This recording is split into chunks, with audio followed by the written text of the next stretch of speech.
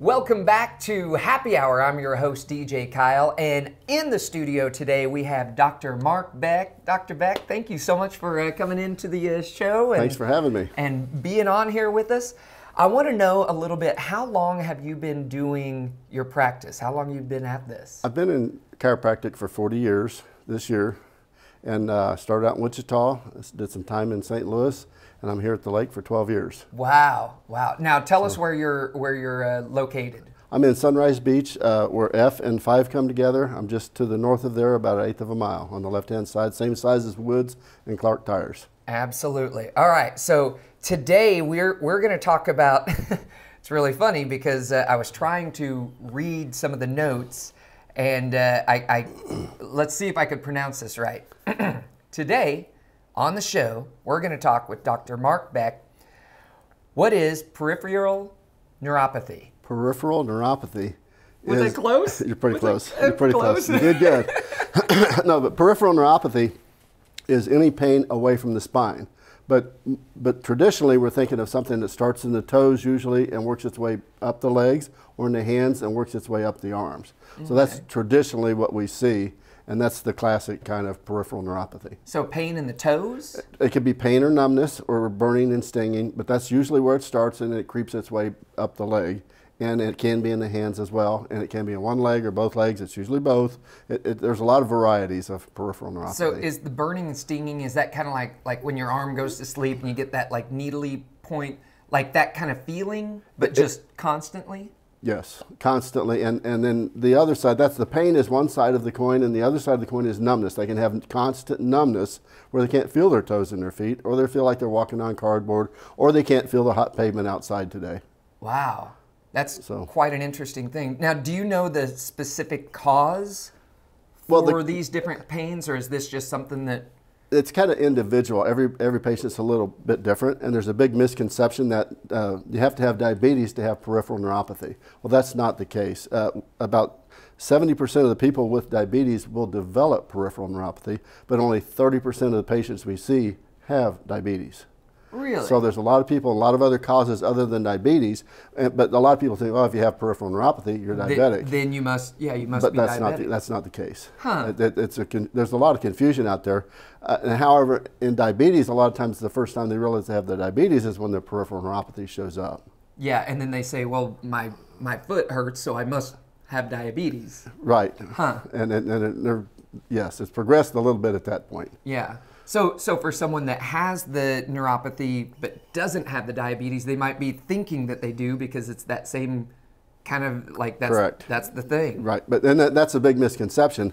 Uh, and there are a lot of other causes for it: lifestyle, uh, age. Uh, the older we get, the more uh, peripheral neuropathy we see. Uh, I mean, I've seen it in patients as young as 25. Uh, And you know, 85 is 90 is probably my oldest patient. So the, that's runs the whole gamut. Yeah. Now, would those like the younger ones, would that be with diabetes or even on on both spectrums with Uh, or without? Prob- probably not. Probably uh, some other health issue has has uh, intervened and caused this problem. so, is this something that a doctor could diagnose, or is there special things that you can do? Uh, anybody can diagnose it. I mean, any doctor can diagnose it. I mean, even Dr. Google can diagnose it. but, which, but- which a lot of times I find out that I'm sick. I didn't even know that I was. But, but, but, but I, I have a lot of those come in the office and they are misdiagnosed. Yeah. Uh, so they don't really have peripheral neuropathy. Uh, but no, anybody can diagnose it. But I am uh, I have a, a diplomat in pain management and I'm board certified in, in treatment of intractable pain and peripheral neuropathy. Oh, okay. So, so, So- this is like a, a specialty, something that you've been doing a lot of studying on.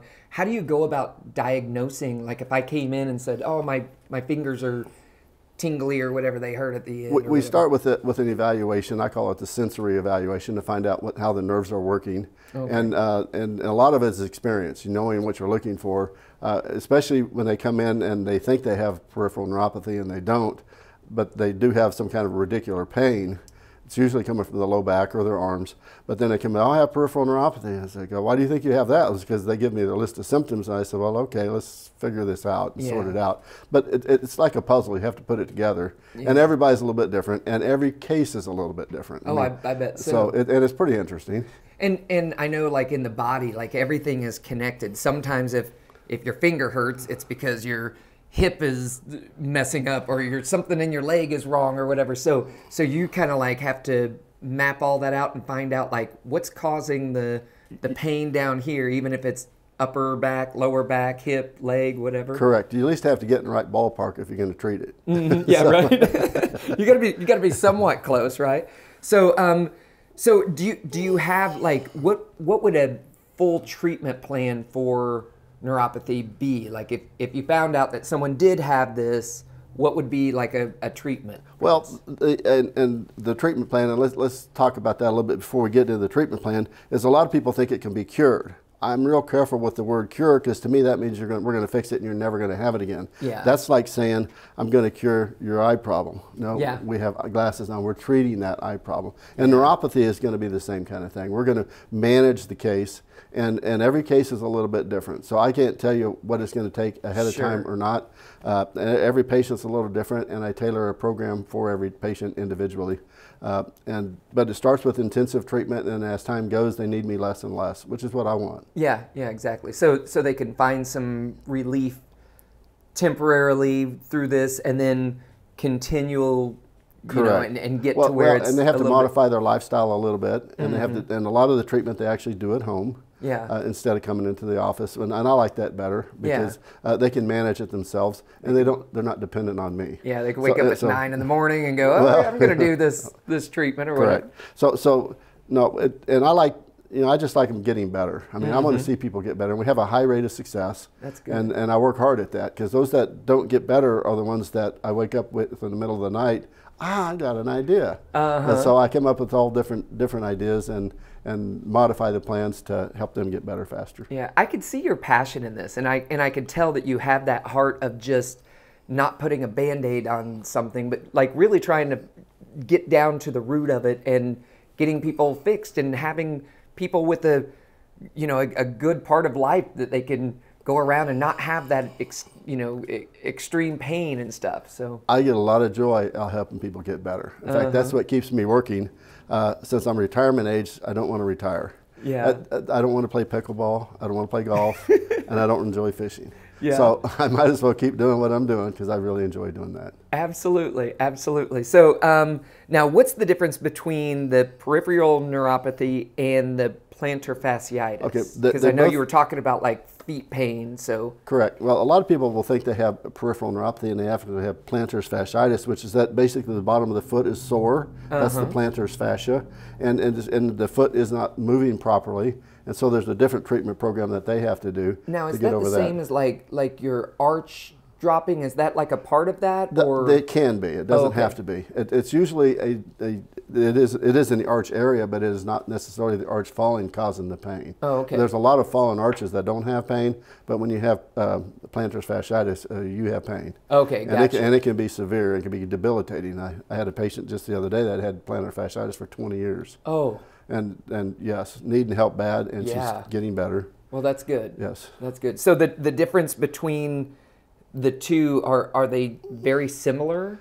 the people can misperceive the pain as similar, but it, it's the, they're entirely different origins of pain, and the treatment's entirely different. Okay, and and that would just be something that someone could come in and you can kind of diagnose and figure out, get right to the the root of the cause. Correct. That's Correct. great. Yes. That's great. So tell us again, how would someone go about getting a hold of you if they're having these pains or whatever, and they just say, "I want someone that knows what they're talking about, that can diagnose and that can help me through this pain." So Well, well the, be- the best thing to do is to call the clinic at uh, 573 207 0441 or go to the website of beckwellnesscenter.com. Absolutely. Again, I, I love to see your passion for this, and I wish you the best of luck.